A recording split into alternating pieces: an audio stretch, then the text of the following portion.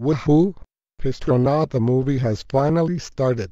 I hate Fistronaut the movie so much I want to get out of this living room right now. Whose phone is ringing? It's okay, Dad, it's my phone, I get it. Could you excuse me please? Okay, then hurry up. Don't take too long this time. Hello, this is Joey speaking. Hello. Joey. This is the director of Peppa Pig. And we have really awesome news for you. Yeah, what's the awesome news then? The awesome news is that your dream is about to come true. Peppa and Friends has just started today.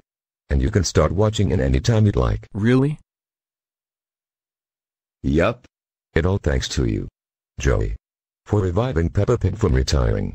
Peppa, Suzy and her father are partying really hard. Oh boy, thanks a lot for telling me, bye bye. Joey, what is taking you so long this time?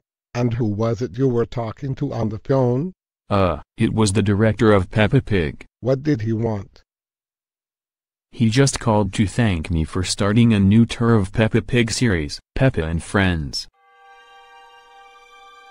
Oh no no no oh oh oh oh oh oh oh oh oh oh Joey. How dare you start Peppa and Friends.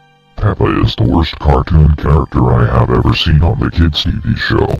That is it. And watch the movie with us right now.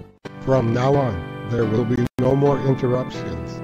You are to stay here to watch Fistronaut the movie with us, at all times. Yeah, that means no more bathroom breaks, no more talking on the phone, and no more excuses. You are never allowed to leave this living room during the movie. It's all your fault, Joey. You revived Peppa Pig by starting Peppa and Friends. Yeah, thanks a lot to you, Joey.